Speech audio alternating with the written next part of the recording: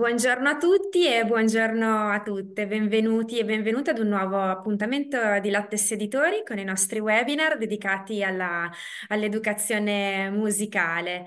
Eh, intanto che vi state tutti collegando e quindi lasciamo qualche istante che tutti abbiano la possibilità di connettersi. Eh, prima di entrare nel, nel vivo vi lascio un po' di informazioni anche se immagino che ci seguiate da, da tempo perché questo è un percorso che abbiamo iniziato quest'autunno con una serie di incontri di, di formazioni e di interviste che, che si sono susseguite e ci hanno dato la possibilità di esplorare mille sfaccettature dell'educazione musicale a scuola. Ehm, probabilmente già lo saprete, l'incontro di oggi è registrato, come avrete visto anche dalla, dalla notifica quando vi siete collegati, e troverete la registrazione di questo e di tutti gli altri incontri che vi accennavo prima sul nostro sito. Quindi, insomma, se avete poi piacere di rivedere gli appuntamenti passati, nel caso non li aveste già seguiti o di condividerli con qualcuno dei vostri colleghi, lì trovate tutto, trovate i video, trovate le slide, tutti i materiali che abbiamo messo a vostra disposizione. E, è previsto anche un attestato di, di, partecipazione, lo riceverete via mail all'indirizzo con il quale vi, vi siete iscritti.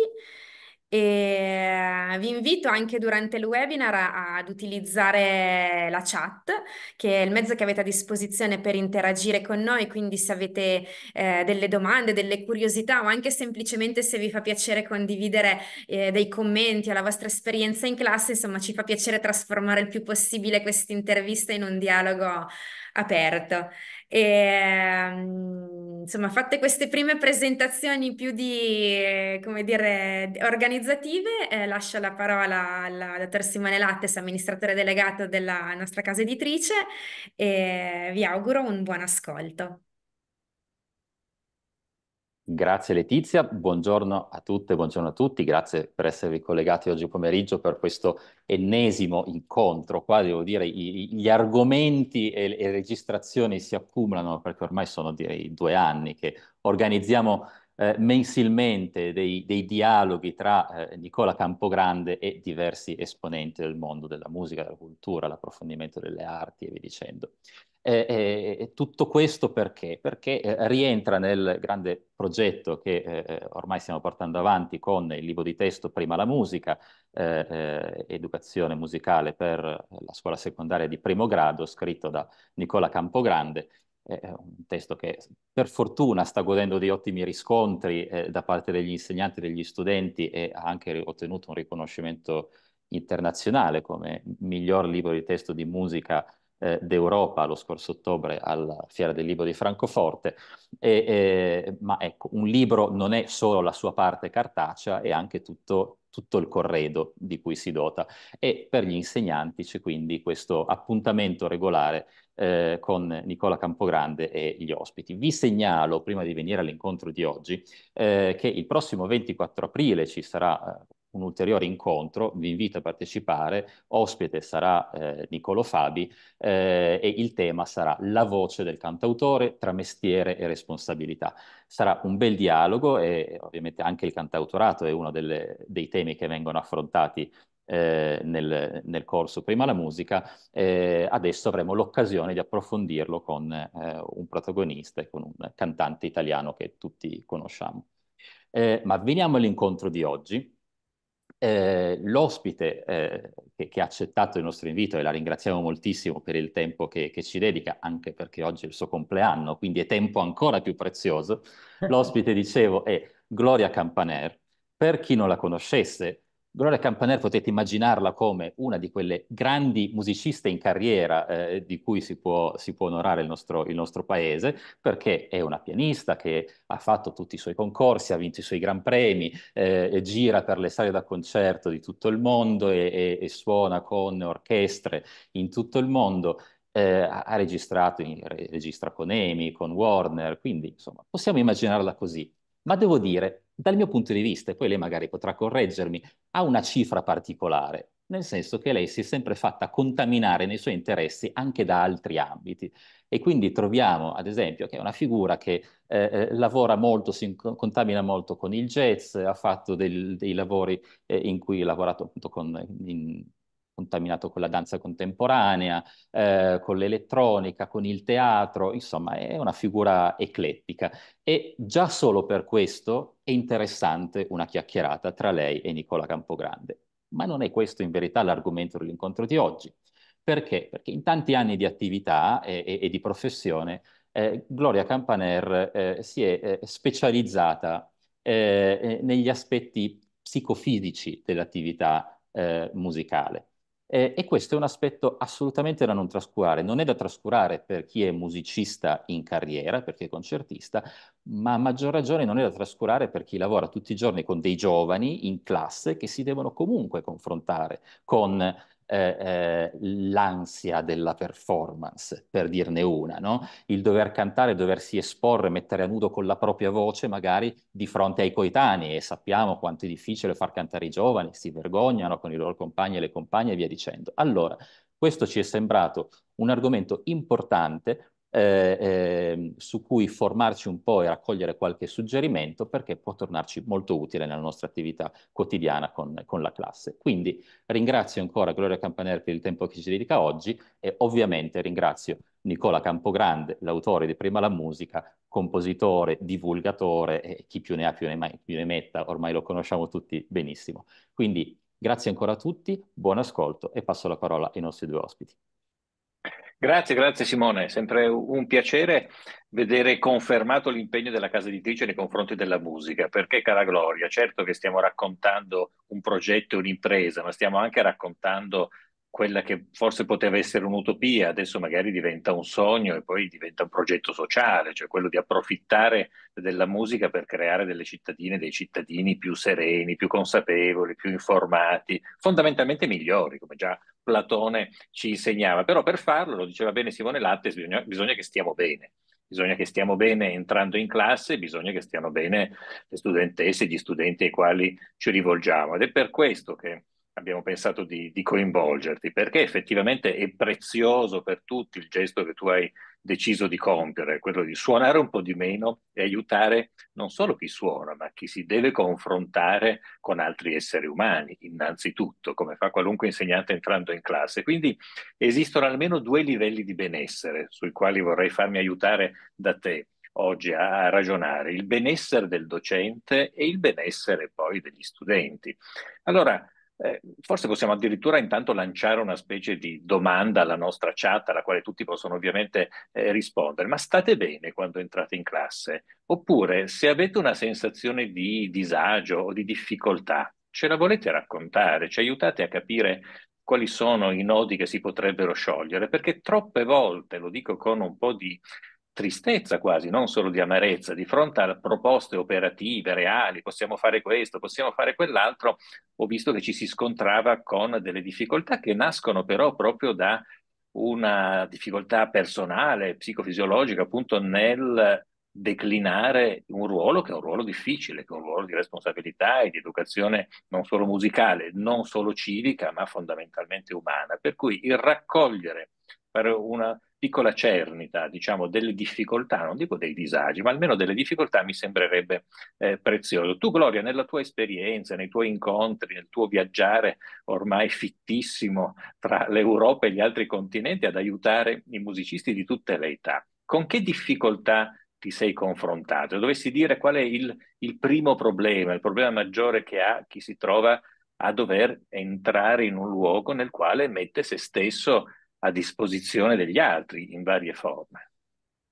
Guarda, beh, innanzitutto grazie di cuore per questo invito, un saluto a tutti, a tutti e a tutte le presenti. Um, guarda, a, ti rispondo subito a questa domanda, ma mentre parlavi mi è venuta in mente una riflessione perché eh, Grazie che hai lanciato a tutti questa domanda, come state? State bene? E anche eh, il bel titolo che abbiamo dato a questo incontro, Stare bene con la musica. Non è così scontato non è per niente scontato, cioè uno dei tanti motivi per cui ho, eh, diciamo, fondato questo laboratorio, ho dedicato più tempo all'ascolto, alla cura di qualcosa che non si vede, ma è così presente nel, nostri, nel nostro corpo, nella nostra esistenza, nel nostro organismo, cioè non lascia tanta traccia, ma poi lascia una traccia incredibile che, sono, che è il mondo delle nostre emozioni.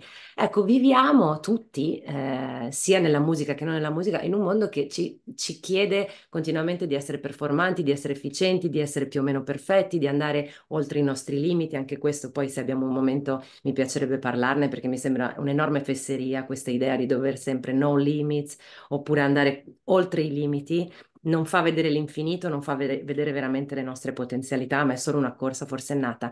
Ma faccio un passo indietro. Ecco, la domanda come stai? Ma la domanda che pre- presuppone un ascolto, non come stai, allora come va e subito, allora ti sei collegato, sei pronto, hai fatto, che uno lo dice perché così nel linguaggio eh, della gentilezza, nel linguaggio de- del, del buon senso, ma veramente come stai, come ti senti, stai bene, state bene. Non viene chiesta e soprattutto non c'è interesse a sapere la risposta dell'altro, cioè non c'è una predisposizione all'ascolto. E senza dover adesso fare diciamo delle eh, sottocategorie, musicisti, non musicisti, artisti, sportivi, non importa, adesso partiamo, partiamo a, parliamo a tutti gli esseri umani, però insomma sicuramente qua dentro siamo in una cerchia dell'arte. Ecco, eh, perché questa domanda non viene fatta no? a chi studia arte, a chi studia musica, come non viene fatta magari a nessun altro? Perché proprio lì c'è qualcosa, c'è un tabù, c'è una fragilità, c'è qualcosa di vulnerabile che non, che non si vuole svelare, c'è qualcosa... Io stessa non mi ricordo di aver mai avuto il coraggio di dire a un mio insegnante di musica, poi sopra, soprattutto più bravo era, no? più importante era il maestro, più chilometri dovevo fare per raggiungerlo, più soldi dovevo spendere in viaggi aerei, meno avrei avuto il coraggio di dire che ero stata male, che non avevo dormito, che avevo forse vomitato, che non riuscivo a finire. Cioè, usi quell'ora per sistemare la parte tecnica, no? Della tua, della tua crescita, del tuo sviluppo artistico. Ecco, completamente dimenticandoci che c'è tutta un'altra parte, secondo me, fondamentale, se non di uguale importanza anche per poter fare al meglio una performance, che è tutta quella che riguarda l'emotività, la tua capacità di sentirti bene e quindi anche di sentirti bene nel gesto artistico e nel messaggio che vuoi veicolare dentro questo gesto. Quindi ecco, sono contenta che non so cosa ne verrà fuori oggi, ma che in questa stanza virtuale che abbiamo creato, grazie, che avete creato grazie a questo incontro, ecco che ci si possa concentrare a dare delle risposte a questa domanda sacrosanta. E tu che risposte daresti? O meglio, che suggerimenti daresti in base alle risposte? Immaginiamo che qualcuno ti dica sto proprio bene, ho proprio voglia di cominciare la mia lezione con i miei studenti e le mie studentesse ha già risolto oppure questo sto proprio bene ha bisogno di essere declinato in qualche modo? Ci vuole un progetto, ci vuole tutte le volte un'idea, non lo so.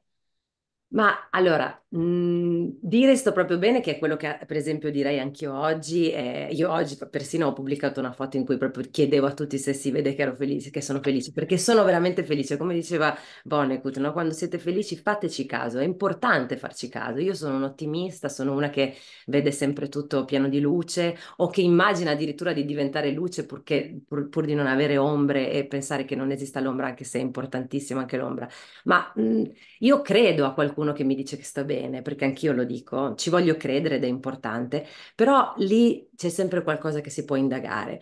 Allora a quel punto eh, aprire la finestra dell'ascolto, cioè proprio allenarsi per capire quanto è importante la cura di una condivisione, di un ascolto profondo, di una comprensione, dell'empatia, eh, di tutto quello che serve per stare vicino a qualcuno che sta facendo un percorso così difficile, no? che può essere nuotare dentro il mondo dell'arte, della musica. Ecco, tu devi essere predisposto, soprattutto se nella vita scegli di essere in un certo senso un educatore. Mm?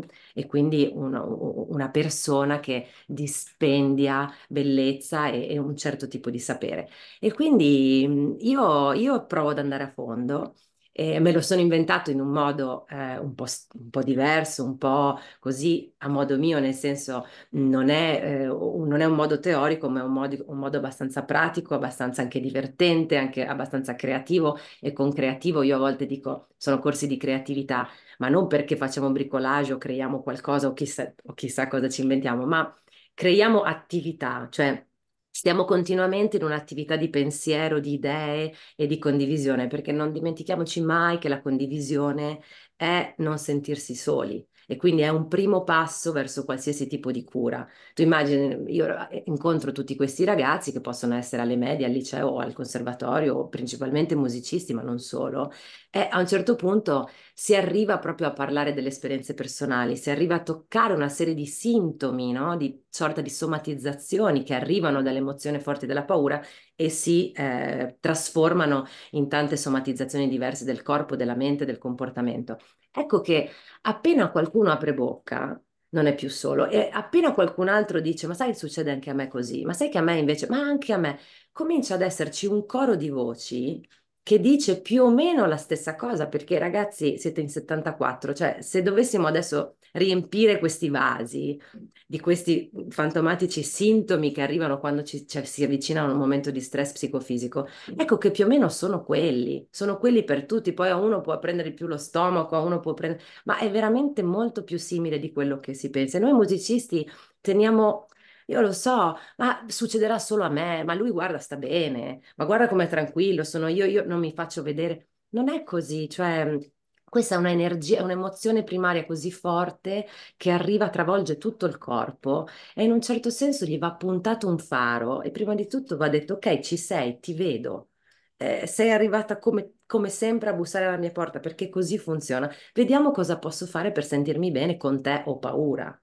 Non so se... Quindi, per esempio, un insegnante che propone una qualunque attività a una classe la può proporre non aspettandosi che magicamente la classe reagisca e raggiunga un determinato livello che magari è superiore alle possibilità delle classi, magari atteso ed è normale, ma si può porre in una maniera molto più dialogante dicendo è difficile, lo so, è stato difficile anche per me, lo è ancora adesso, figuratevi oggi che ho dormito male, eccetera, eccetera, è difficile per te, quindi anche tu cosa ne pensi? E sono tre minuti ben spesi, mi pare di capire.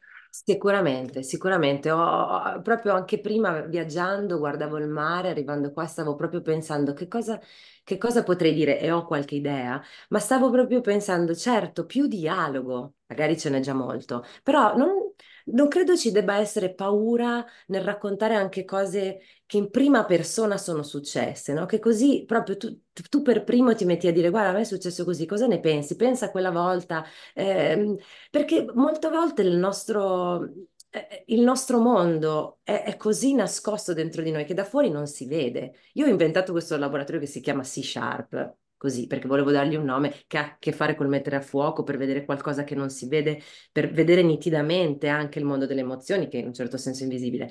E ho, l'ho inventato parlando per caso con il primo violino del quartetto di Cremona, Cristiano Gualco, che è un amico, noi abbiamo fatto tanti concerti insieme. E lui un giorno mi ha detto questa cosa. Lui poi è un empirico, non è uno così spirituale come tra l'altro forse mi dif- definirei un pochino più io.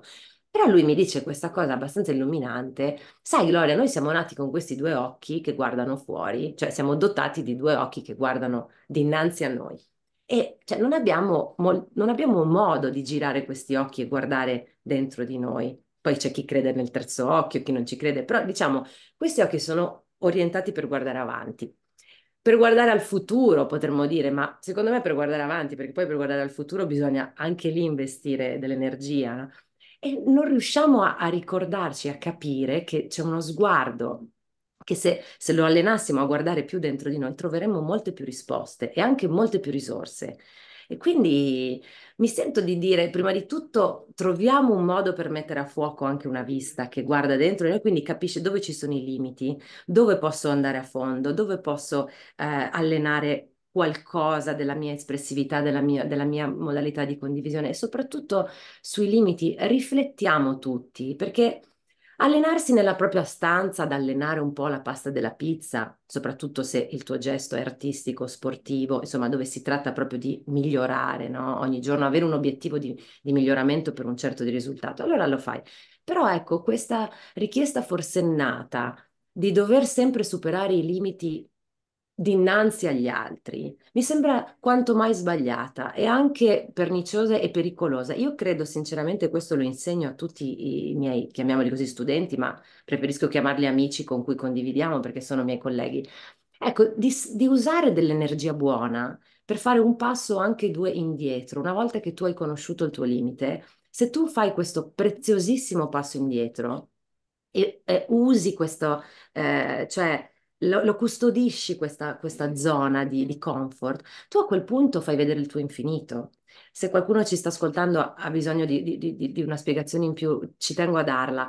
Cioè, intendo dire, pensiamo anche a cose più pratiche. Se tu stai ascoltando qualcuno che suona o che canta o che si esibisce, ecco, se tu da pubblico senti che questa persona sta, cantando, sta suonando il più veloce possibile, il più, o sta cantando il più acuto che può, il più forte che può, cioè che non ha più forza fisico-espressiva, tu ti accorgi che questo artista è al suo limite e quindi ti accorgi che più di così non potrebbe mai fare. Quindi di colpo gli individui una, una parte vulnerabile, una fragilità, una sua fine. Ecco che se invece noi alleniamo eh, con un po' di umiltà anche a fare un passo indietro, tu ascoltatore, tu mondo, tu eh, percettore dell'arte, vedi un, un, una strada, un, una, una, prateria aperta, vedi un infinito, vedi un orizzonte che è lontano e questo è bello.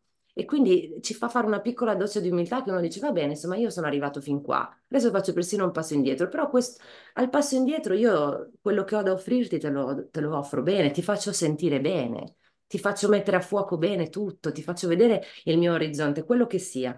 Secondo me questo è un consiglio importante da dare agli artisti. Io me lo sono auto-inculcato perché mh, adesso fra un po' non ho paura a raccontare tante cose di me, quindi insomma io sono una piena di, di, di emotività, di forza prorompente, sono nata oggi il 5 aprile, sono eh, ascendente leone, tutti i pianeti in Sagittario, solo fuoco, solo fuoco, solo fiamme, per cui mi devo molto controllare, anche se non credo molto nello zodiaco, però quel poco, se è vero, eh, ce l'ho.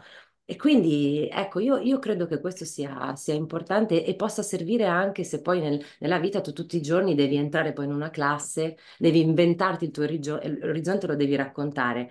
Magari, ecco, arrotondare qualche bordino, stare un po' più dentro lì e poi ogni giorno questo orizzonte lo allarghi nel tuo lavoro, tua, nel tuo allenamento, nel tuo continuo ricercare.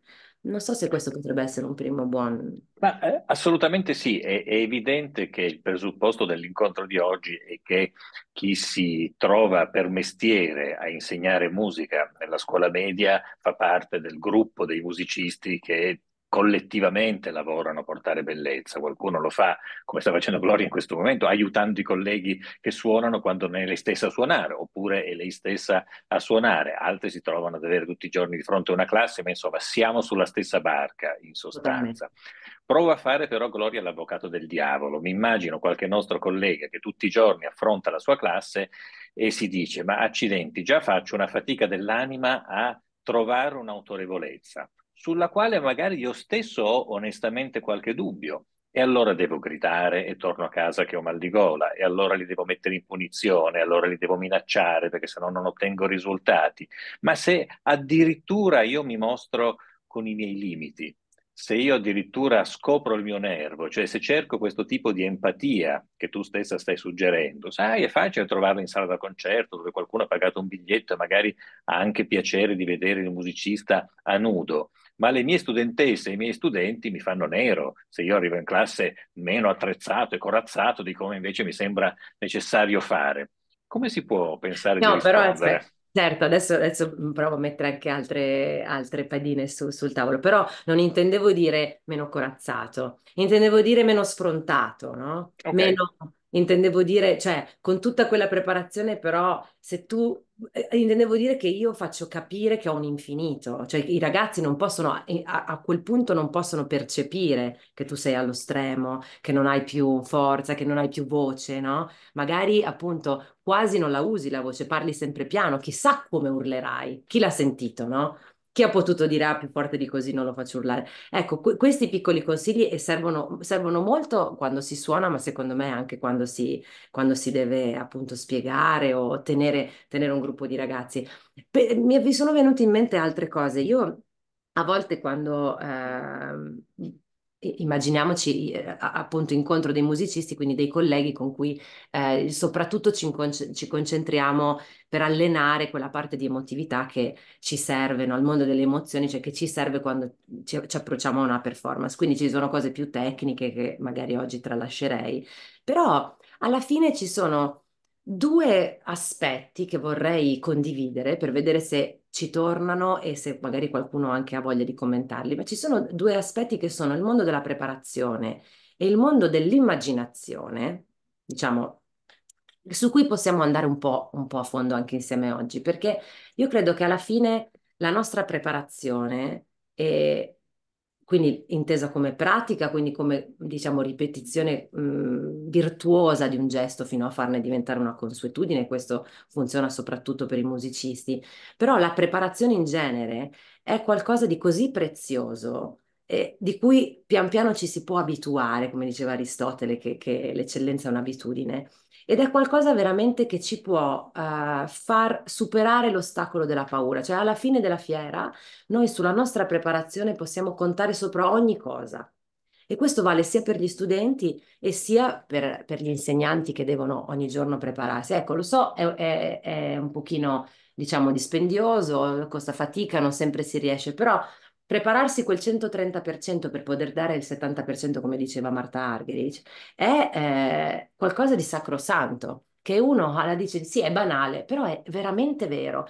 E quando io faccio questi, questi corsi ci concentriamo molto sul, sul punto della preparazione, ma proprio andiamo a fondo, cosa vuol dire, come ci si prepara, in, quante, in quanti gradi, cioè mi stai dicendo solo che devo imparare bene il pezzo o devo andare eh, molto da prima, cos'è la preparazione? La preparazione proprio è tutto, è come ti poni, come hai deciso che camminerai, come hai deciso eh, che, che, volgerai lo sguardo, quante volte guarderai a terra invece che davanti a te, quante volte pensi, cioè essere proprio preparato un po' in tutto. E quindi in un certo senso non farti cogliere da tutta una serie di dettagli che comunque arrivano ogni giorno, no? Perché arriveranno sempre, ci sarà sempre quello che poi eh, negli ultimi banchi non ti ascolta, poi c'è sempre qualcosa che succede, magari fuori ci sono un sacco di rumori, stai facendo fare una cosa e si sente una pernacchia, cioè chissà cosa può succedere, no? E veramente nella sala di concerto è identico, cioè tu arrivi, pensavi, anzi addirittura dalla prova a quando poi fai il concerto cambia tutto, come? La sala è sempre quella, ero vestito così, c'era l'aria così, c'era la luce quella, eppure cambia tutto lo stesso, c'è tutto questo mistero che cambia. Ma se tu ti prepari veramente tanto, ecco che The work takes over, come mi ha detto una volta John Malkovich, è stata un'esperienza incredibile. Una volta io ho pranzato con John Malkovich e lui mi ha insegnato questo, perché io gli ho chiesto come, come fai a prepararti questi monologhi. Cioè, noi lo pensiamo un grande attore di cinema, ma John Malkovich è un incredibile attore di teatro che fa monologhi per un'ora, un'ora e mezza da solo, sì, appunto monologo, scusate. E come si fa? La preparazione. Lui ha detto after 10 minutes the work takes over. Scusate l'inglese, nel senso, dopo 10 minuti qualsiasi cosa stia succedendo nel tuo corpo a livello psicofisico, so, di sintomi, di comportamento, tutto quello che abbiamo appena toccato prima, accennato, eh, cambia perché la tua preparazione prende sopravvento e si va oltre l'ostacolo della paura. Quindi Ecco, fare, mettere in luce questo e tenerselo come valvola di, ok, magari all'inizio tutto va storto, ma dopo dieci minuti io ce la farò anche con questo gruppo di ragazzi, ci può dare un po' di forza, vale per tutti. E l'altra mh, piccola eh, cosa che mi è venuta in mente è lavorare anche sull'immaginazione.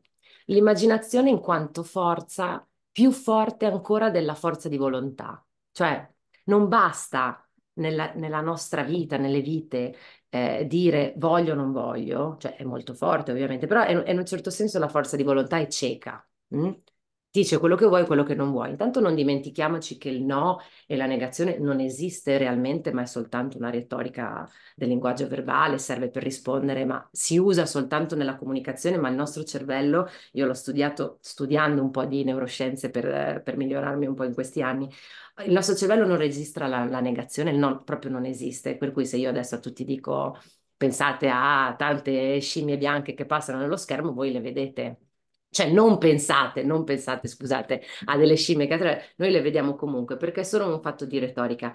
E quindi spostare dalla forza di volontà all'immaginazione tutto il nostro mondo dell'esistenza, tutto il nostro esistere, anche quello è molto forte molto utile. E quindi a, lavorare nell'avere una perfetta immagine eh, cinestetica, motoria, visiva di noi nel momento della cosiddetta performance, che può essere appunto anche essere, ritrovarsi in classe con i ragazzi, soprattutto perché voglio dire che anche quello è un pubblico e peraltro un pubblico molto difficile. E quindi non fermarsi a dire non, cosa voglio e cosa non voglio, ma costruire veramente da prima tutto un involucro di una serie di gesti, una serie di, di, di, di azioni, una serie di parole che coinvolgono anche proprio tutto il sé i passi, il vestiario, il profumo, eh, se l'aria sarà fredda, calda, se sarà salata, se le finestre saranno aperte, se effettivamente le lezioni sono di giorno o di sera, come... cioè usare, usare molto l'immaginazione in modo che poi si, si possa essere presi sopra, mh, mm, che l'errore o l'inaspettato ci arrivi a, arrivi a sopraffarci un po' meno no? È come la paura della prima e poi tutte le repliche vengono meglio. Ecco, fare in, fare in modo che questa prima, in un certo senso, l'abbiamo già vista, l'abbiamo già afferrata, l'abbiamo già immaginata e quindi siamo un pochino più a nostro agio, è un pochino più familiare il tutto. Abbiamo lavorato per creare eh, un environment in cui ci sentiamo bene, abbiamo usato proprio la nostra immaginazione, che è una forza di cui disponiamo, così come anche disponiamo della consapevolezza eh, che dovremmo allenare un po' di più come esseri umani, ecco. Guarda, mi sembra importantissimo quello che tu dici, quasi rivoluzionario, perché guardando la chat i casi sono due.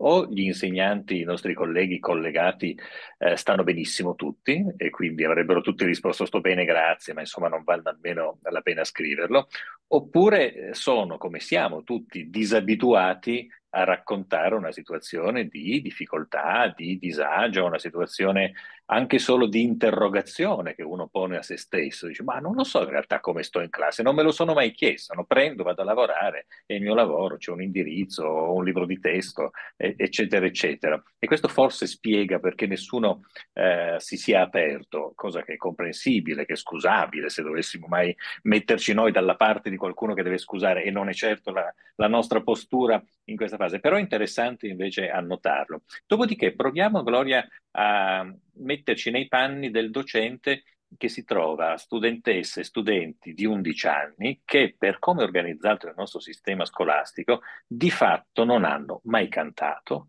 mm. e probabilmente non hanno mai tenuto in mano uno strumento musicale, mentre hanno giocato con una palla, hanno vestito soldatini e bambole, hanno magari già incontrato uno smartphone, in molte parti d'Italia la soglia è proprio la prima media, in altre no, ci sono bambini che già hanno uno smartphone in mano benché sia sconsigliato in tutto il mondo da qualunque pedagogo e eh, psicologo, quindi ci sono una serie di abilità anche evolute, se vuoi, sulle quali ci si esercita. Quelle musicali non sono mediamente toccate perché il sistema musicale, insomma, prevede un'esecuzione alle scuole elementari che viene fatta con estrema difficoltà, spesso da eh, docenti che purtroppo non hanno avuto non occasione so. di prepararsi, no? non hanno avuto le competenze per farlo e eh, Ope Legis sono diventati anche insegnanti di musica. Allora l'insegnante di educazione musicale in prima media si trova per forza a chiedere la cosa che tu citavi prima, cioè un triplo salto carpiato a qualcuno che ha fatto tutto tranne gesti potenzialmente anche molto semplici dal punto di vista muscolare, anche emotivo, per i quali però non si è preparati e quindi diventa difficilissimo fare delle cose veramente semplici e molto più semplici di altre. È molto più difficile maneggiare una penna e scrivere un tema o anche solo una frase in italiano rispetto a usare la stessa forza muscolare per suonare una piccola melodia su un flauto, su una chitarra, su un pianoforte. No, ma dico delle cose veramente banali, però questo accade. Che cosa si può suggerire all'insegnante per capire eh, lo stato d'animo psicologico, emotivo degli studenti per entrare con la propria empatia in un processo che deve essere ovviamente positivo e mai punitivo, ci mancherebbe.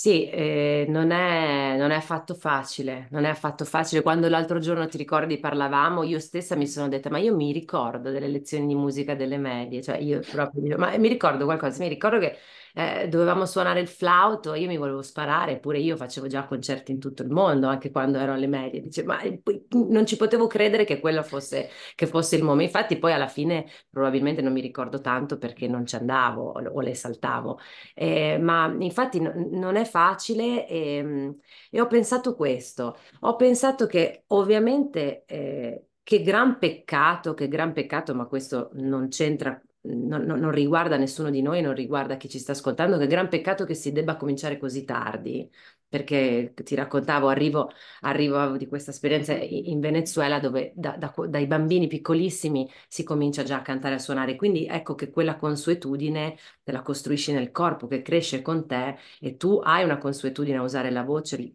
a suonare qualcosa, a suonare uno strumento e far parte di un coro, di un'orchestra che sia. Ma ok, arriva un po' tardi come fare in un momento in cui, tra l'altro, insomma, c'è il cambio della voce, eh, non, è, non, deve essere, c'è l'adolescenza.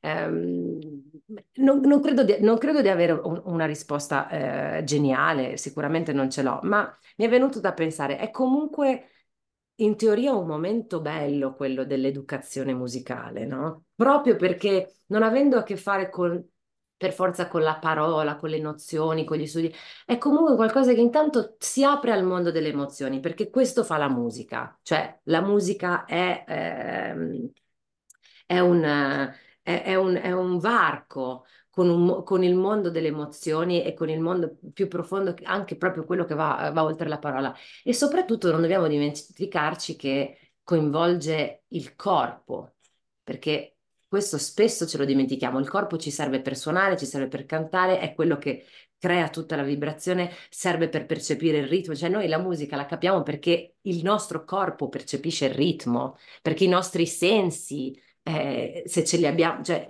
lo, lo, è, è, un, è, un, fatto sensoriale. Quindi eh, certo che c'è uno sforzo intellettuale, ma dobbiamo veramente ricordarci che lo sforzo intellettuale è una parte de, de, di tutta la percezione che arriva attraverso la musica. E quindi mi sembra che sarebbe ottimo vederlo come uno, uno, un'occasione per usare il corpo ancora di più e dargli una dignità, dargli eh, una, un ruolo da protagonista.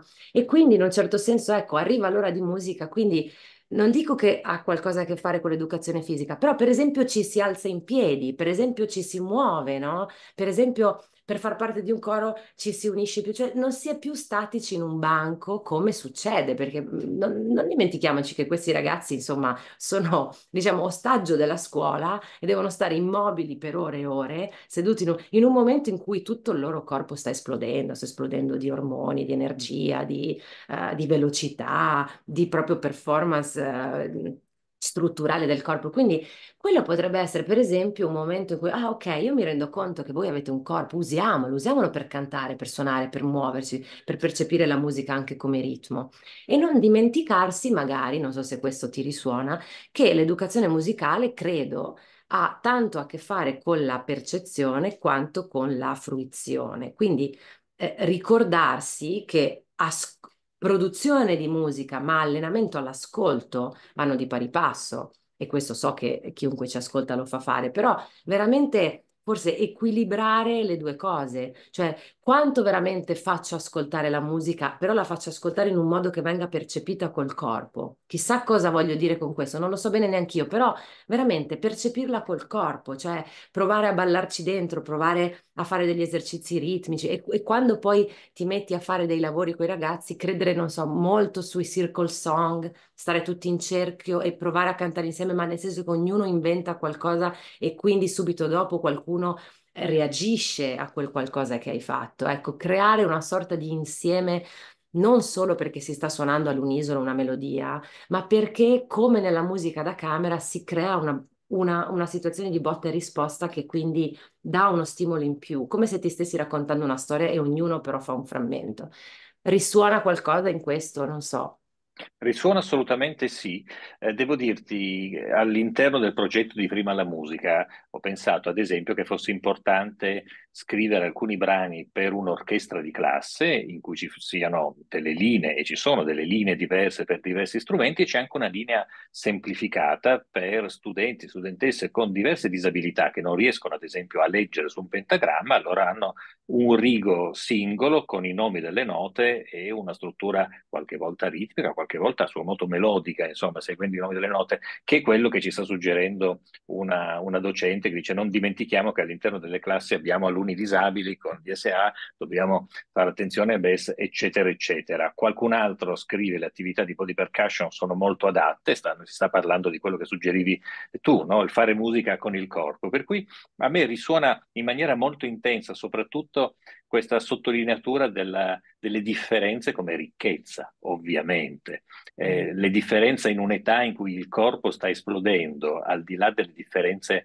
biologiche di partenza, è chiaro che si accentuano, siamo eh, più variopinti, diciamo, in quell'età rispetto a come lo eravamo prima e anche come lo saremo dopo. No? È proprio un'età in cui gli scatti sono soggettivi, sono individuali, per cui la materia è particolarmente pulsante. Allora la cosa più sbagliata secondo me, è cercare una uniformità di performance, per riprendere la tua parola. No? Quindi per questo un brano di classe in cui si suona tutti insieme, con difficoltà diverse, ma il bello è proprio questo, non l'eccellenza da una parte e chi invece non ce la fa, e vabbè, facciamo, facciamo delle altre cose perché non ce la si fa. La ricchezza è proprio che nella musica, così come all'opera, due persone possono parlare insieme, a teatro no. Se parli insieme non capisci più niente. Nell'opera sì, si può cantare insieme anche con versi diversi o con gli stessi versi, ma con melodie diverse. La musica ah. per sua natura consente di fare insieme delle cose. L'orchestra è questo, ognuno fa una cosa diversa e insieme si vince. Già a scuola una pratica di questo tipo, che però passa ovviamente attraverso una consapevolezza fisica del corpo, come tu stai dicendo, dei diversi corpi e quindi anche delle diverse menti che al corpo sono attaccate, credo che non possa che essere ogni volta una filosofia vincente. Dopodiché sono d'accordo con te, è difficile avere una ricetta, una ricetta unica, proprio perché la ricetta nasce dagli ingredienti. Queste sono ricette chilometro zero, cioè, tu entri e hai quegli ortaggi. Sì. Non lo dico con tutto l'affetto, naturalmente, sono certo. ortaggi simpatici questi, però è, è, è lì. Certo, infatti, ma eh, mi è venuto in mente ancora una cosa, sul, sul tema del, dell'uguaglianza e, delle differenze. Eh, una cosa, una cosa sottile e importante allo stesso tempo.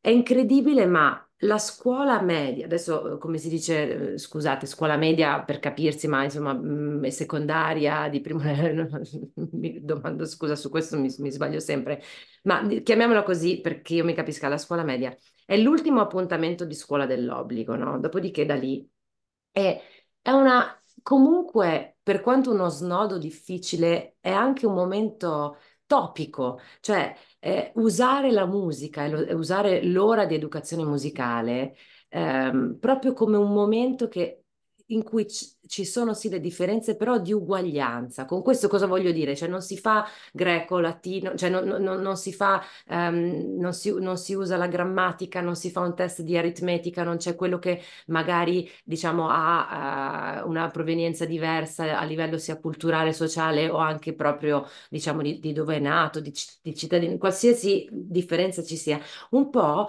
eh, cambia perché con la musica eh, tu alla fine eh, metti, metti, alla prova altre tue capacità, no? Quindi diciamo canti, suoni, puoi essere, ah, magari non sai bene dire alcune parole, però potresti essere benissimo intonato. Quindi a quel punto succede una magia che allo stesso tempo ridà una sorta di eh, dignità e equilibrio anche sociale e culturale all'interno di un piccolo gruppo come quello di una classe. Cioè, appunto, ritorno a, ricordare questa esperienza che ho avuto in Venezuela, ma perché a me ha molto, ha molto colpito dove lì appunto da, da 50 anni si dà un, un'identità, una, una, una, dignità sociale attraverso lo studio della musica. Un paese pieno di, di problemi e, e, pieno di, di, uh, di, alti e bassi di tutti i tipi, però lì si è scelto che attraverso lo studio della musica si arrivi ad avere un'identità sociale. Quindi oltre la povertà, oltre il fatto che non hai una casa, non hai da mangiare, ma eh, fai parte di un coro, fai parte di un'orchestra, ti diamo noi la maglietta perché tanto non ce l'hai, è uguale per tutti, quindi insomma uno stampo socialista però di questo tipo. Mi viene da pensare, certo, infatti questi ragazzi si sentono parte di qualcosa di meraviglioso, pur non avendo niente. E con questo voglio dire, nel piccolo, e quello è un grande paese, è una, una, un'educazione capillare che attraverso questa cosa il sistema va dappertutto, ma pensiamo alla piccola singola classe. Lì ci sono tante differenze, no? Magari c'è il figlio di uno ricchissimo, c'è il figlio del portiere, c'è il ragazzo eh, che ha i genitori che non sono italiani, cioè mh, a quel punto però si canta e si suona insieme e, magari quello che non, non riusciva, non gli viene bene la grammatica, magari è intonatissimo e, e riesce a fare... Chi lo sa, cioè è tutto da scoprire e questo arriva sempre attraverso la forza della musica che è qualcosa di, no? Che si staglia un po', viene fuori esce come qualcosa di speciale e, e chi, chi ha la, il privilegio di insegnare questo e che ha la possibilità di, di essere portavoce di questo tipo di, di, magia, in cui io credo moltissimo, eh, si deve sentire felice. Guarda, dici delle cose potentissime che stanno risuonando, secondo me, nelle persone che sono collegate in questo momento. Eh, c'è però eh, Sabina Righi che fa avvocato del diavolo per tutti, insomma, forse, dice proprio perché è l'ultimo step dell'obbligo, i ragazzi che non sono educati sin dall'infanzia alla musica ti dicono che la musica non gli servirà a niente. A me vengono da rispondere eh, tante cose, ma tu che cosa rispondi a un insegnante che fa questa legittima obiezione? Io io sono un ottimista, quello ho detto prima, io, io, credo nella luce anche in un posto tutto di Roma, tanto ci sa, arriverà un lumino, voi non lo vedete, io lo vedo anche in una stanza buia. Eh, è legittimo, è giusto, ma io credo che, quel, che comunque quella forza ce l'ha lo stesso, cioè è, è, come il ragazzo che ti dice ma a me, non mi, me guarda, non mi interessa, io questo tanto non lo farò, perché devo fare matematica, tanto io poi, fa... oppure io andrò a lavorare, tutto questo, non importa, cioè è qualcosa, un'osmosi, ti passa, ti attraversa il corpo, tu neanche te ne accorgi, ti rimane una traccia che, che non hai visto, neanche vedrai, ma sai che da qualche parte lì eh, ti risuonerà, ti tornerà utile, ti, ti, arricchisce, ti abbellisce la vita, ti regala il dono dell'armonia, ti, ti insegna l'equilibrio, ti insegna la bellezza, cioè mh, non importa se il ragazzo in quel momento in maniera legittima ci avrebbe voglia di fare altro e magari ha ragione, anche dice ma non me ne frega niente. Mm lasciamolo andare, lasciamolo dire, vogliamogli bene e cre- continuiamo a credere che invece non sarà così e che da qualche parte della sua cellula e delle sue cellule invece non è vero e poi magari qualche anno dopo invece la penserà diversamente, tutto cambia, tutto procede, tutto si trasforma, per cui anche lui poi magari ringrazierà quell'unica volta in cui invece ha, ha percepito qualcosa di buono e tornerà lì, tornerà ad emozionarsi, entrerà in una sala di concerto anni dopo e si ricorderà. Io credo in questo, però è la mia umile eh, opinione. Guarda, sei stata convincente perché la stessa docente dice, infatti la mia risposta è che da grande probabilmente si ricorderà dell'inutile che ha ascoltato e imparato. E a me viene in mente che l'atteggiamento dei genitori è lo stesso. Ora è vero che i genitori non devono compilare il registro elettronico, non devono dare i voti, non hanno un direttore didattico, eccetera, eccetera, eccetera, un dirigente, bla bla. E questa qualche volta è un po' una seccatura, lo sappiamo, amen, pare che la scuola non ne possa fare a meno a nessun livello. E va bene. Certo. D'accordo. Dopodiché cosa fanno i genitori? I genitori seminano, i genitori regalano, i genitori sono per loro natura disponibili a offrire e non devono immaginare di raccogliere. I genitori sani non sono dei eh, contadini che poi a un certo punto dicono beh adesso è la stagione in cui voglio vedere se queste mele che ho piantato sono cresciute sull'albero. Quello è un atteggiamento che secondo me uno si deve dimenticare subito, ma lo, lo dico da, da, padre di tre figli. Noi facciamo il nostro lavoro e regaliamo e divertiamoci regalando con i nostri limiti che vanno denunciati, che vanno utilizzati come tu ci stai suggerendo eh, oggi Gloria.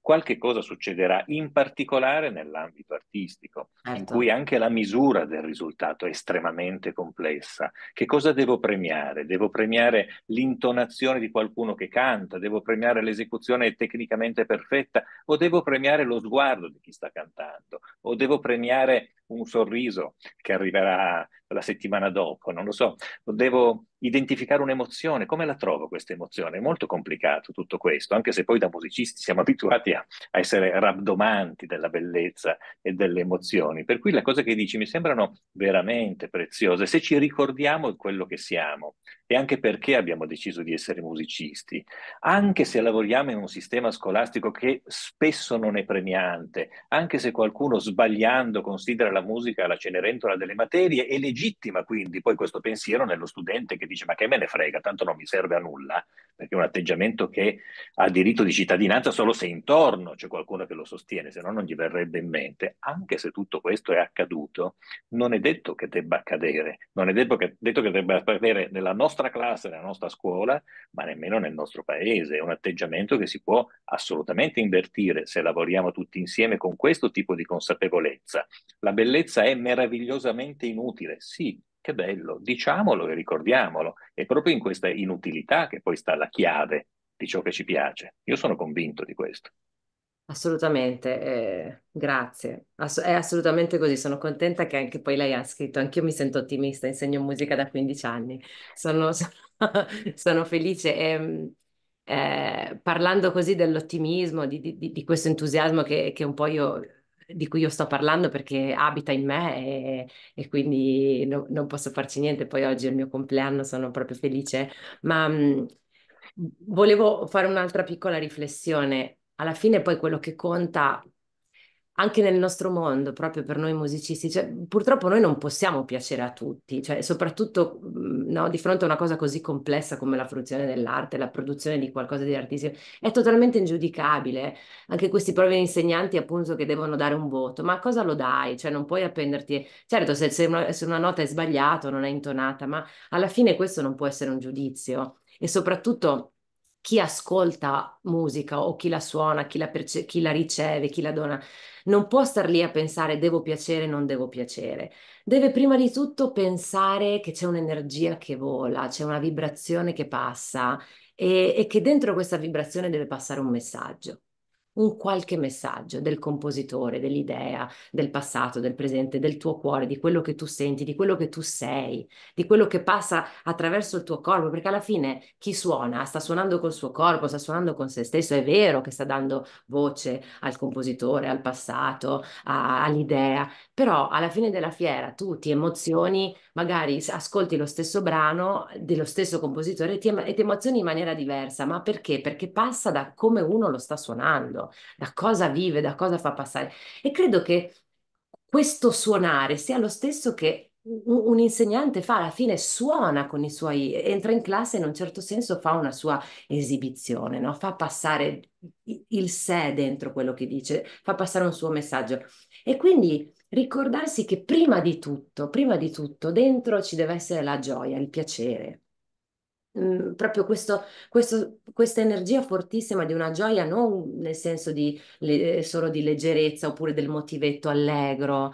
Eh, questo lo, lo, voglio condividere perché mm, anni fa dovevo preparare uno speech per TED, e, che poi alla fine ho chiamato La gioia dell'arte, che è anche un titolo che io molto spesso do ai, miei, ai miei laboratori.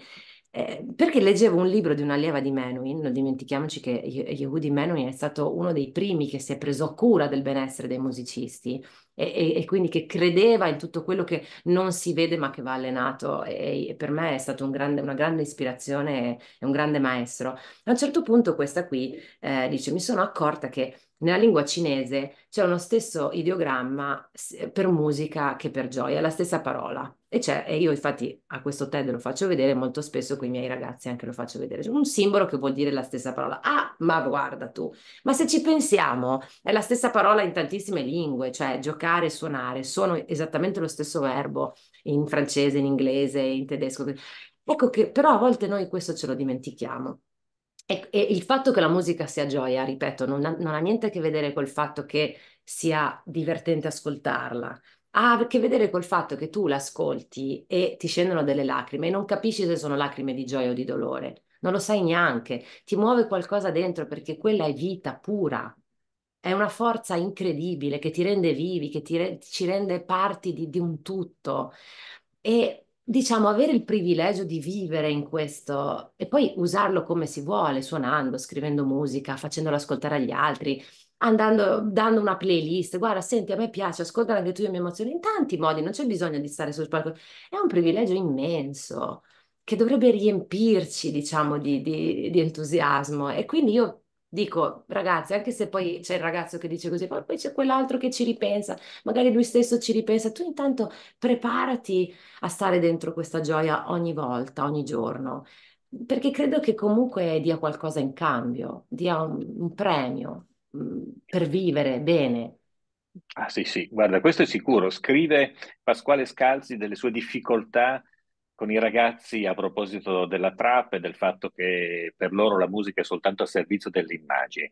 a me sembra che è evidente che se dobbiamo fare un combattimento tra una musica abituale e associata a un'immagine, che quindi ha quella forza assoluta, e lo stare fermi seduti al banco a concentrarci su un notturno di Chopin, eh, ci sono un vincitore e un vinto. E, e questo va da sé. Ma se il nostro corpo partecipa, cioè se la trap, se quel brano specifico che magari non ci piace proprio, magari lo troviamo detestabile o maleducato, come scrive eh, il docente, ha ragione, ma se quello diventasse invece un pretesto, se, se lo si smontasse, se si costruisse una canzone in cerchio su questo, estraiamo la parte percussiva e la riproduciamo, la suoniamo veloce il doppio, oppure la facciamo rallentata, cosa succede? Cioè se accogliamo tutto questo, se accogliamo le differenze, mi viene in mente da compositore un pezzo pazzesco come Sinfonia di Luciano Berio, che prevedeva, prevede il brano, per gli Swinger Singers, quindi l'ottetto vocale più famoso al mondo, i solfeggi di Ettore Pozzoli. Chi di noi ha studiato un po' di musica a un certo punto ha sbattuto il naso su un libro, credo pubblicato da Ricordi, che conteneva i solfeggi di Pozzoli, grande didatta in Italia, unico paese al mondo, pratichiamo il solfeggio parlato. Lo sapete, unico paese al mondo. Non esiste un'altra nazione nella quale si faccia il solfeggio parlato, si fa il solfeggio cantato. cantato. No? Allora Luciano Berio, genio assoluto, in un brano intitolato Sinfonia dice che bello, abbiamo un'orchestra, abbiamo questo ottetto vocale, citazioni da Mahler, eh, omaggio a Martin Luther King, c'è uno scibile pazzesco, testi dal cotto al crudo inseriti dentro, cosa fanno gli swingle singers a un certo punto? Solfeggiano Pozzoli.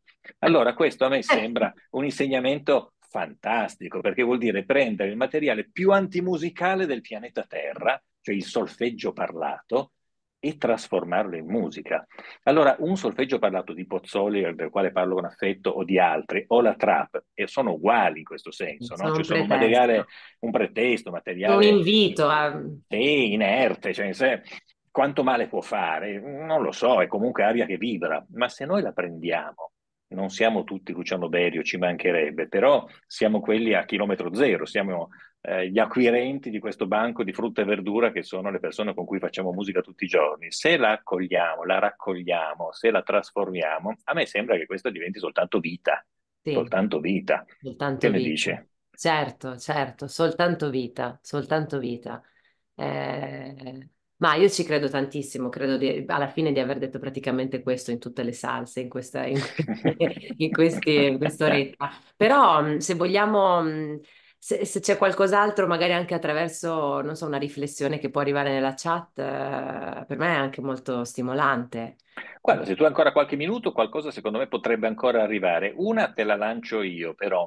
Eh, ripensiamo all'insegnante che entra in classe dicendo sto bene, ho tutte le mie energie, le voglio riverberare sulla mia classe, eccetera. Mi sono anche preparato, ho studiato come tu ci hai spiegato, quindi arrivo, hai ragione, corazzato eh, non eh, ricco di anfetamine, ma eh, pronto a confrontarmi con il mondo. Devo anche avere, ti domando Gloria, in testa una sorta di meccanismo, di progetto, di appunto che, che, vale sempre nel momento in cui io devo affrontare una lezione, che si tratti di far suonare, di far cantare, di raccontare la storia della musica, di scoprire degli strumenti. Ci sono degli ingredienti che in modo ricorrente io devo conoscere, non so, devo sempre eh, sorridere a metà della lezione, fare un riferimento personale e, e, ricordarmi di battere le mani tre volte. Non lo so, dico delle sciocchezze solo per stimolarti. Guarda, eh, rip- credo che poi ognuno deve trovare no, la sua via e deve trovare il suo modo e, e quindi chissà, eh, magari qualcuno scriverà che, ha, che, che, utilizza, ha, ha, qualche consiglio che può essere utile a tutti. Mm, mi sento di dire alcune cose. Eh, per esempio il potere dell'interruzione. Io adesso questo l'ho studiato molto perché sono diventata un coach quindi a, a, diciamo faccio un sacco di sessioni anche singole con, con, musicisti mm, pazzeschi che devono fare grandi concorsi, grandi concerti, così. E lavoriamo molto su questo perché eh, l'interruzione e quindi che il potere dell'interruzione, che poi da dove tutto comincia, come tra l'altro diceva Paul Valéry, eh, è, è vero. E quindi ricordarsi che è quello che nella musica noi potremmo pensare nel silenzio, nella pausa, cioè quanto questo è importante, ma lasciamo adesso stare la, la, la, la sinonimia proprio come nella musica, nel, nel suonare l'interruzione, cioè il silenzio, ma proprio creare delle interruzioni all'interno di, di, di, una, di un'ora di, di insegnamento. E quindi Uh, non tanto avere uno schema, ma avere ben chiaro quanto è importante fare un'interruzione, perché quando tu fai un'interruzione interrompi uno schema mentale e interrompi uno schema emotivo. Quindi questo serve sia per il musicista, l'atleta, il campione, no? il famoso vado in bagno per il tennista, chiedo il break, cioè sono proprio cose che vengono insegnate dai grandi. Il grande campione sa che l'interruzione proprio gli serve, ma anche il, il musicista professionista conosce l'importanza dell'interruzione, magari fa qualcosa, si tira fuori il fazzoletto, cioè non è veramente così sudato, non ha veramente così bisogno, no? pensate ai grandi video di Benedetti Michelangeli, no, no, cioè, però l'interruzione è fondamentale. Ecco, io penso che anche di fronte a un uditorio di ragazzi che stanno così attenti, creare dei momenti di interruzione in cui viene fatto uno, shui, proprio uno shift del, del tono, del... Ehm, del tono di voce, dello sguardo, prima parli di più, poi fai fare una cosa più pratica, oppure proprio questo cambia lo schema emozionale, come se, se noi immaginassimo che qualcosa gira in senso orario, chiamiamola energia, chiamiamola attenzione, chiamiamola, uh, non lo so, vibrazione, a un certo punto va in senso antiorario. E questo è molto importante, questo si, si usa nel coaching proprio per aiutare questo, adesso lo dico, ma quando si è proprio vicino a un momento di grande stress psicofisico è proprio importante con il respiro, con la consapevolezza, creare queste interruzioni proprio per far girare diversamente questa ruota. Ma io credo che mh, anche per i ragazzi donare questi momenti di interruzione gli serve proprio per riacchiapparli e anche per far cambiare qualcosa in loro, cioè di colpo magari capiscono una cosa che prima non avevano capito. Cioè, mi sembra che questo potrebbe funzionare. E, ehm, Cos'altro? Beh, forse tante cose che, che, tutti sanno e sapranno meglio di me, cioè l'importanza del linguaggio del corpo, l'importanza di, cioè qua, l'equilibrio di tutto, no? Schoenberg diceva che, che l'unica, che la via, che, che se c'è una via che non porta a Roma è la via di mezzo, no?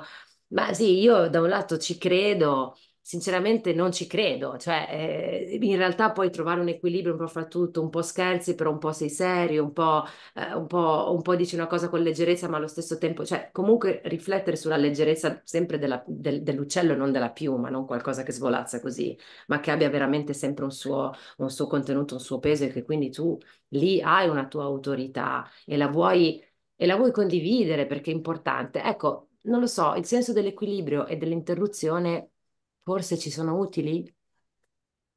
Ma direi, direi assolutamente di sì, stavo guardando anche gli altri messaggi in chat, eh, Renato che dice è importante il desiderio di partecipare al gioco. Eh, quando abbiamo deciso insieme a Simone Lattes di in que- lanciarci in questa impresa di prima la musica e salutare serenamente le basi elettroniche MIDI, dire ragazzi se si fa musica a scuola la si fa su registrazioni fatte da esseri umani. Abbiamo pensato a questo, abbiamo pensato suona strano, suona anche retorico e un po' me ne vergogno, ma al benessere degli insegnanti, oltre che al benessere degli studenti. Ma come posso chiedere io ai miei colleghi che tutti i giorni vanno in classe di fare musica se si devono appoggiare su una base elettronica che fa ribrezzo dal punto di vista fonico. Ma come posso chiedere di divertirsi se questo è il materiale di partenza? E non è certo colpa loro, era un problema nazionale, era un problema, eh, come dire, editoriale, ma anche estremamente concreto, empirico.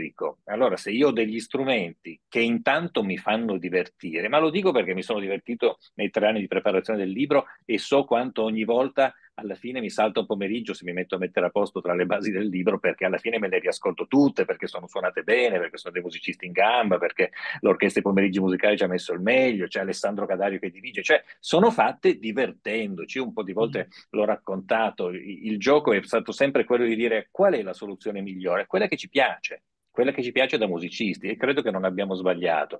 Allora, anche in questo senso è evidente che se poi i materiali editoriali e tecnici che gli insegnanti hanno in mano parlano, si prestano al gioco, si prestano ad essere goduti e apprezzati innanzitutto da chi li maneggia, allora poi il gioco tutto sommato è in discesa. Quando questo non avviene, allora sono compromessi allora la musica non è democristiana La musica mm. proprio per sua natura, la cosa che stai dicendo tu, la musica non si presta al compromesso, il compromesso teniamo da altre parti, la musica si presta alla bellezza, la bellezza la trovi anche in gesti minimi, allora non è un compromesso il gesto minimo, è una scelta di dedicarsi, una cosa scrivere un brano per Ocarina, una cosa è scrivere un brano per orchestra sinfonica, non è un compromesso il brano per Ocarina, è una scelta, ho un'Ocarina, scrivo il brano per Ocarina, è inutile che io faccia finta che l'Ocarina è un uh, organo eh, Cavalier Cole ottocentesco con uh, eh, 400 timbri, non lo è, è inutile che io cerchi di forzarlo, però con un'ocarina posso fare musica meravigliosa.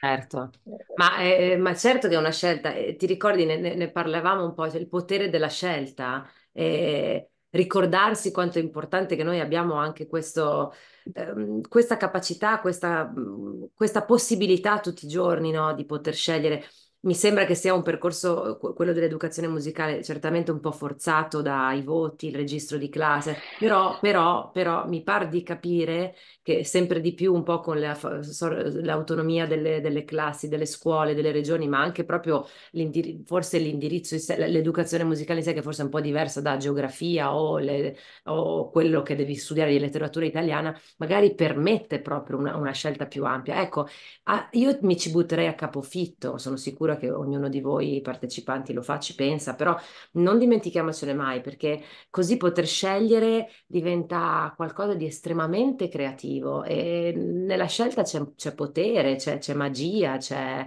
eh, c'è forza, c'è una direzione. E, ecco, questo è un terreno dove si possono fare delle, delle scelte bellissime che sono ancora una volta una, un fatto di stare nel lavoro, nell'azione, in un movimento, in un, in un, flusso, così come la musica si muove, ecco che anche le scelte che la compongono sono in continuo movimento. Io non mi fermerei mai se dovessi eh, tutti i giorni, perché questo è anche il bello, e, e, e, non stare poi alla fine a dover fare qualcosa che ha scelto qualcun altro per te o che la vita stessa ti ha portato. Eh, no. Eh, Guarda, eh, dici una cosa preziosissima, adesso io sono ospite della casa editrice Lattes e, e quindi forse mi farò sgridare, ma il libro che abbiamo pubblicato, come tutti i libri di testo che riguardano la musica nel nostro paese, è sovrastimato, nel senso che nessun docente nei tre anni di scuola media riuscirà ad utilizzare le 850 pagine che abbiamo stampato noi, così come le hanno stampate tutti gli editori. È un Scegli. gioco no? che permette di scegliere di mettere a disposizione. Nessuno potrà eseguire i 230 brani che abbiamo registrato, ma non lo fa nemmeno un professionista se lavora tutte le settimane. Quindi hai ragione, nel senso che rispetto a un corso di grammatica o di matematica in cui puoi dire faccio un gioco semplificato, le addizioni le saltiamo perché non sono simpatiche al professore, ok? È chiaro che le addizioni non le fai alla scuola media. Nel corso di musica, sì, tu puoi decidere che non canti e non suoni musica popolare perché sei molto interessato al rock italiano e fai quello per tre anni, ma perché no? Oppure puoi no? decidere no, che canti e suoni soltanto musica barocca e sul libro ne hai quanta ne vuoi, oppure soltanto le colonne sonore perché hai questa sensibilità, perché no, eccetera, eccetera. Quindi in realtà la cosa che tu dici è davvero concretamente possibile. Tu prendi in mano prima la musica e hai la possibilità di dirigerti là dove, eh, esatto, dove, dove, va, dove va la tua anima, dove va la tua curiosità e quindi costruirti il tuo corso di musica in un certo esatto. senso. Quindi, no, no, dici delle cose che risuonano. Sai che sono le 5.10, qui tra un po' mi sgridano e ci, ci, mandano via, quindi io non voglio approfittare oltre anche della tua giornata di compleanno, peraltro. È stato quindi... un grande piacere, è stato un grande piacere, è volato, quindi eh, ci salutiamo. Sì, davvero. Allora, noi ci vediamo prestissimo, ma... Eh... noi ci vediamo.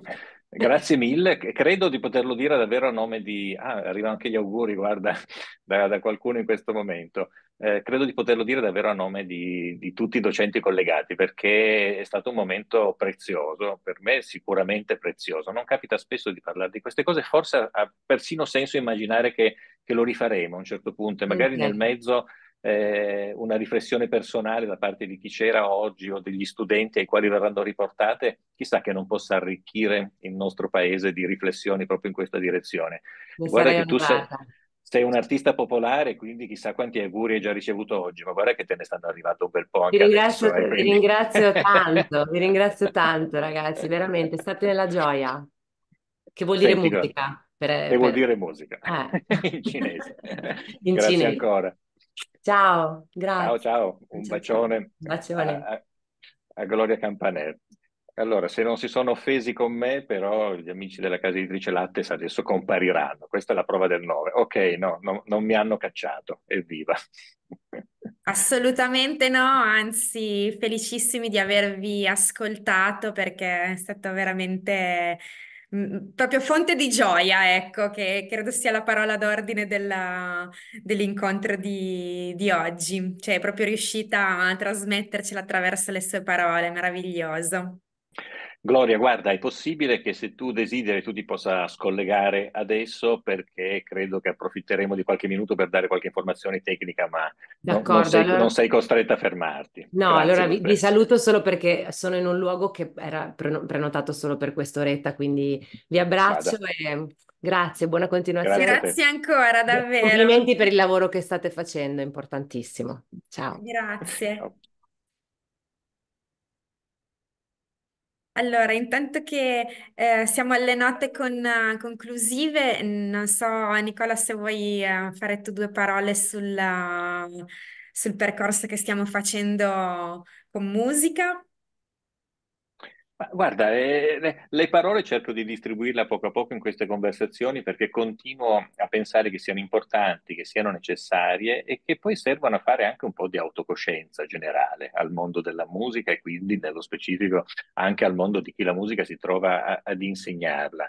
E questi ragionamenti fatti con, con Gloria Campanere, soprattutto da Gloria Campanere, con questa gentilezza, questa scioltezza, questo garbo, come se si stesse chiacchierando del più o del meno, in realtà almeno a me hanno toccato nel profondo, insomma, mi risuonano queste cose, cioè so che mi ritroverò davvero a, a rifletterci e chissà che questo non, non determini anche un modo un po' diverso di entrare in classe. Diciamo che mi sembra possa far parte del, del progetto generale, dell'idea di, di fare musica con gioia, con felicità, con serenità e soprattutto in modo efficace, perché poi la musica ti porta gioia e serenità se la fai bene. Perché, perché se no è chiaro che parti con una situazione di sofferenza. Dopodiché mi viene in mente che quando siamo stati insieme alla fiera di Dacta a Firenze un paio di settimane fa ormai e venivano a trovarmi un po' di docenti gentili che, che mi avevano riconosciuto dicendomi ma quanto ci stiamo divertendo con prima la musica in classe, mi stavano parlando di questo. Naturalmente stiamo parlando di efficacia didattica, stiamo parlando di studenti che acquisiscono consapevolezza, stiamo parlando di studenti che attraverso la musica fanno usare il cervello in un modo tale per cui poi migliorano in tutte le materie. I dati ormai sono molto solidi e sereni eh, in questo senso e io non posso Però è importante ricordarlo. È importante ricordarlo. Studiare bene musica fa scrivere meglio i temi. Studiare bene musica eh, garantisce risultati migliori in educazione tecnologica, in italiano, e in matematica, ti permette di orientarti meglio quando apri una cartina geografica. Ci sono tutta una serie di portati positivi, ovviamente educazione fisica ci mancherebbe, che sono legati al far bene la musica. E mi sembra che noi abbiamo fatto una parte importante, noi pubblicando questo libro e mantenendolo, e continuando a lavorare, a raccogliere suggerimenti degli insegnanti, in modo che questo, come lo posso dire, sereno ma potente orgoglio di chi fa musica possa continuare a crescere, possa arrivare anche in generale a chi si occupa di stendere i programmi o di destinare i finanziamenti di organizzare saggi finali o di dialogare con i genitori, cioè a rendersi conto di quanto la musica sia fondante, importante per la nostra vita, per la nostra cultura e banalmente per il benessere di chi si trova a fare la scuola. Assolutamente sì. A proposito di fare musica a scuola, immagino che molti degli insegnanti collegati abbiano già, magari in adozione o abbiano già per le mani il nostro prima la musica, però se ancora non fosse così, mi sono permessa di condividere in chat il link eh, con tutta la nostra rete commerciale, così che se avete piace- aveste piacere di ricevere una copia saggio, potete contattare l'agenzia di riferimento del vostro territorio. Se andate sul link che... mm, Ah, ecco, qualcuno ci dice, ho ricevuto la copia saggio la scorsa settimana, veramente innovativa e interessante, anzi entusiasmante. Lo proporrò per il prossimo anno scolastico, ma lo sto già utilizzando. Bene, siamo, siamo contenti, speriamo che insomma, chi non lo avesse uh, già adottato uh, possa introdurlo già a partire da quest'anno.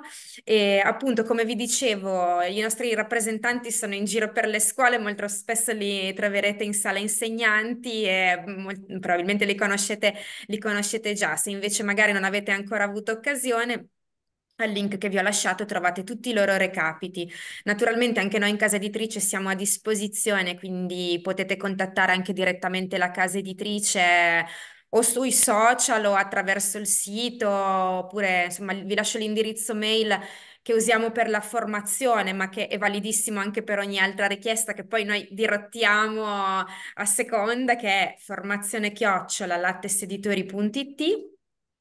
E Visto che siamo alle battute finali, noi abbiamo ancora qualche minuto, quindi se ci sono altre domande e commenti, molto volentieri continuiamo la chiacchierata, altrimenti vi ricordo che abbiamo ancora un appuntamento con uh, l'educazione musicale, con un altro straordinario ospite che sarà Nicolò Fabi. L'appuntamento è per il 24 di aprile, sempre sui nostri schermi, è sempre alle 16. Se andate sul nostro sito trovate già la, la scheda dell'evento per potervi iscrivervi, anzi per comodità ve la condivido, uh, ve la condivido qui in chat così magari se volete potete già, già iscrivervi, sempre che non l'abbiate già fatto perché per questo webinar abbiamo ricevuto tantissime adesioni. Vi ricordo comunque che sul nostro sito um, trovate anche tutte le registrazioni dei webinar precedenti. Lo dicevo all'inizio, ma ci tengo a ricordarlo per chi magari si è collegato a webinar iniziato, visto che abbiamo avuto veramente una carrellata di ospiti che ci hanno emozionato prima ancora che averci trasmesso dei contenuti e quindi vi suggerisco di, di, andare a dare una sbirciatina sia ai nostri appuntamenti ma soprattutto alle nostre registrazioni. Qui appunto il link della, dell'incontro che vi dicevo il 24 di aprile. E a questo punto se non ci sono domande o altri commenti ringrazio tutte e tutti voi per il tempo e l'attenzione che ci avete dedicato. Ringrazio Gloria Campanera anche se sei già scollegata e anche Nicola Campogrande che ci ha uh, fatto scoprire questo, questo personaggio e insomma attraverso il loro dialogo noi a nostra volta abbiamo davvero incontrato un nuovo modo di vivere la musica. Bene, grazie. Allora, buon pomeriggio a tutti e alla prossima insieme a Nicolo Fabi. Alla prossima, vi aspettiamo. Ci vediamo online.